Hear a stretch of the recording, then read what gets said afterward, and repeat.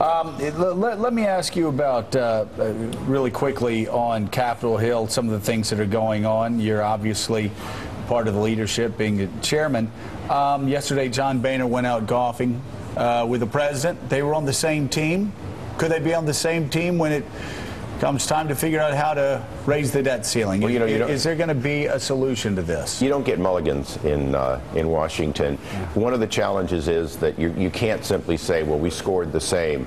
There's going to have to be a win for the American people. Right now, that win is in the Ryan plan, and there is no opposing plan. At some point, there's got to be another plan, not just the Ryan plan to be criticized. Now, Mark? Mr. Chairman, take go back up to 30,000 feet in your role as being in charge of oversight by the branch, the part of the branch you Republicans control.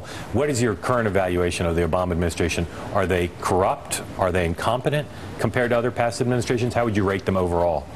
Well, I'm, I have not been in Washington long enough to, to sort of go back to Teapot Dome. Uh, somebody probably is. What I'd say is that they've had too much walking around money, including TARP and stimulus, and that has caused a lot of distortions in how they spend money. When it comes to pure corruption, in other words, did the money just disappear? No, this is not a particular. The stimulus money was well accounted for. Did it go to places it shouldn't have gone to? Yes. Was it wasteful in the sense that it didn't create those jobs, save or create those jobs? Absolutely. But was it well accounted for? Yes. And, and I'm glad you asked because that's one of the good things coming out of a bad thing is we think we have some good ideas of how to account for your tax dollars better, much of which came from uh, Earl Devaney and the Rat Board. Did the money go to the wrong places, though, for the wrong reasons? Meaning, not, not corruption, but the idea that somehow people were funneling money to the to the, either their friends or political parties or you know, that kind of thing, as opposed to people just had an idea of where it should go and they, they were all well intentioned. Well, there was very clearly a bias because the president had the ability to give it to anybody. So he could give it to green jobs even if that green jobs didn't happen, even if those green jobs went to China. Uh, he could do it for political, you see what we did, purposes.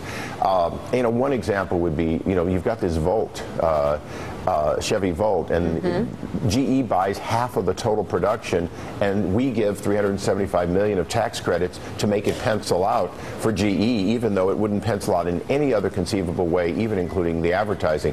Those are distortions where you say, do the American people really think that we should have put 375 million in subsidies into GE?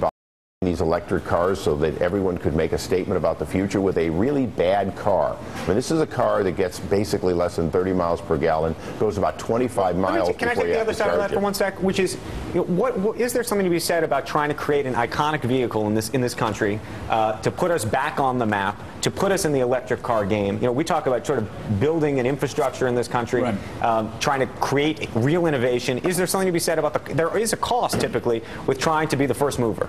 I, well, the, I, just throw it out there as an idea. The cost to be the first mover at Toyota was to produce the Prius, which is a world great automobile that is iconic. And they did it with their money, and they did it with broad. Mm. There were some incentives. You could get in the carpool lane in Virginia, even if you, uh, if even if you didn't have two people in the car. But those incentives were available to all comers. In this case, you're talking about General Motors, pretty much at the time that it's owned by the government, doing pushing a bunch of agenda that was was pushed that way. So it's hard to call that corruption, but I'm certainly going to call it distortion.